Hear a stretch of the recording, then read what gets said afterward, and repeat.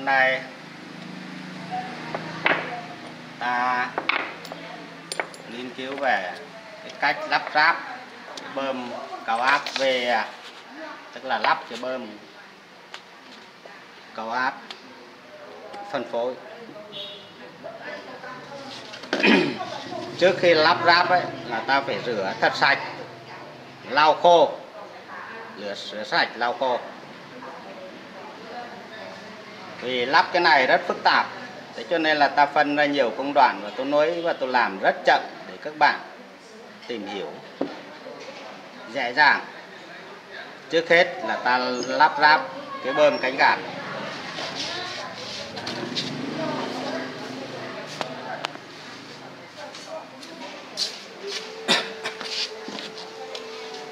Đầu tiên là ta ráp cái chậu của bơm cánh gạt. Khi ráp cái chậu của bơm cánh gạt đây, ráp vào ấy, là ta phải điều chỉnh sao cho nó trùng với lên cái lọ định vị phía phía đường dưới. Để khi ráp vào ấy, là nó trúng, chứ không là các bạn lại mất công. Ta phải điều chỉnh làm nào để cho hai, sau này là cái giá hai con ốc này vào này, là nó phải găm được vào cái cái thân của bơm.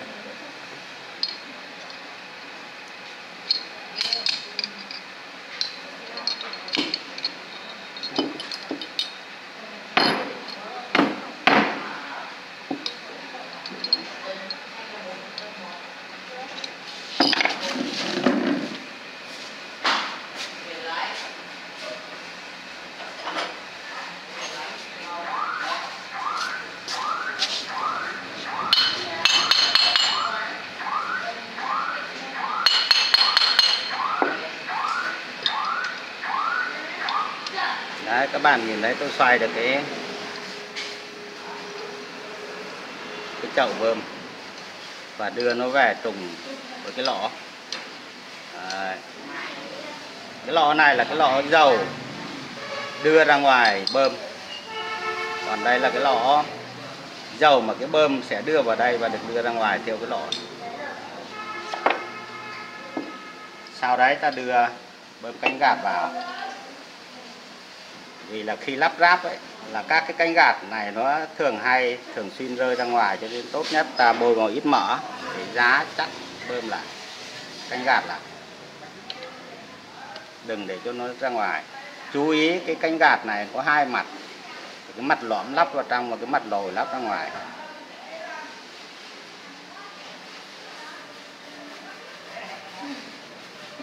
Đấy. hai cái mặt của bơm canh gạt thì lắp mặt nào vào trong cũng được.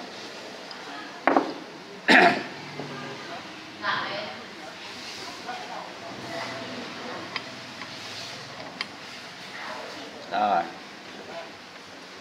Các bạn nhìn thấy này, cái chậu này là một cái chậu lệch tâm. Cái trục này là nằm ở giữa, nhưng mà cái chậu này là các cái phần bên này là là là nhiều hơn phần bên này. Cho nên nó tạo thành một cái cái khe cái khe của cái hình hình côn. Đấy, các bạn nhìn thấy. Trước khi lắp ráp thì ta nên xoay. Xoay để cho cái miệng của của chốt là về phía trên để ta dễ lắp.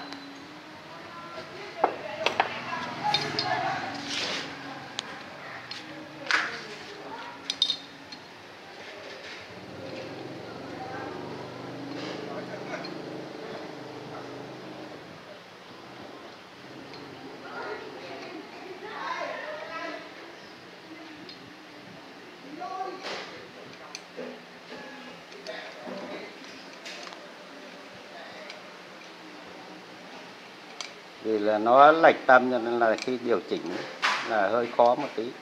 Rồi, ta để nằm ngay ngắn. Bây giờ ta phải đưa cái trục vào.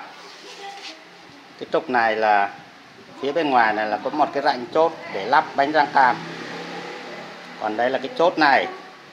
Là cái chốt của bơm của bơm cánh gạt.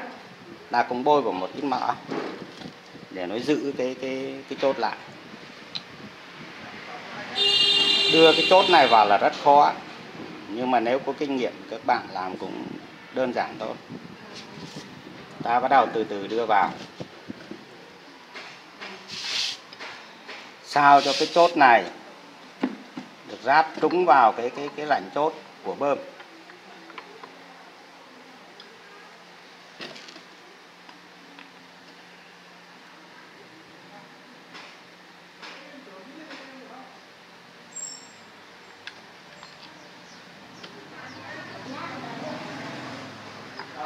Đấy, ta điều chỉnh cái cái cái này về phía trên.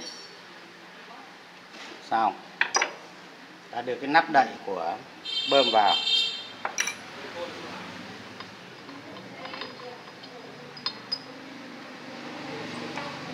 Và vặn ốc định vị lại.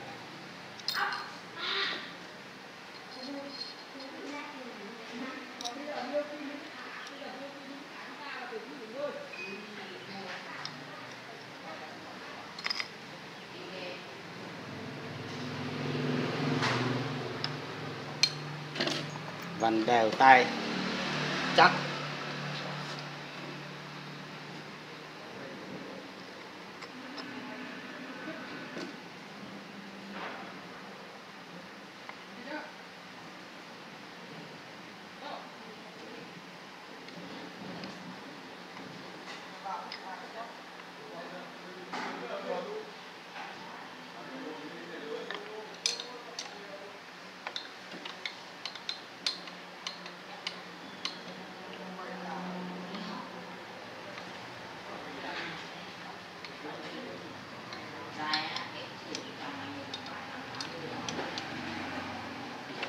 Đấy, khi bơm làm việc ấy là dầu từ ốc dầu này. Và bơm làm việc dầu sẽ đi qua cái lỗ này ra bùng bơm. Đấy, từ đây ra bùng bơm. Xong chú ý đưa cái cái lông đèn lông đèn này người ta gọi là cái lông đèn để bôi trơn. Có các cái tẩy khuyết để bôi trơn và từ từ đưa vào nhằm cái hướng của rãnh chốt.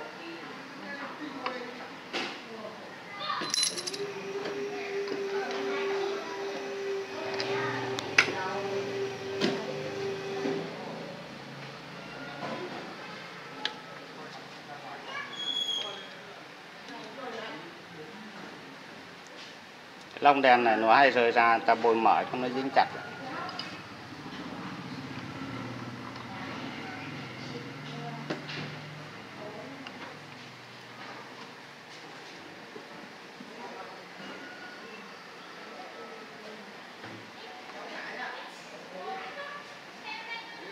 Đấy.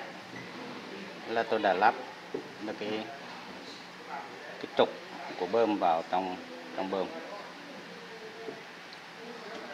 Nếu trường hợp mà cái chốt bị lòi ra, ta lấy túc lơ vít bằng nhận nó vào, từ từ đẩy vào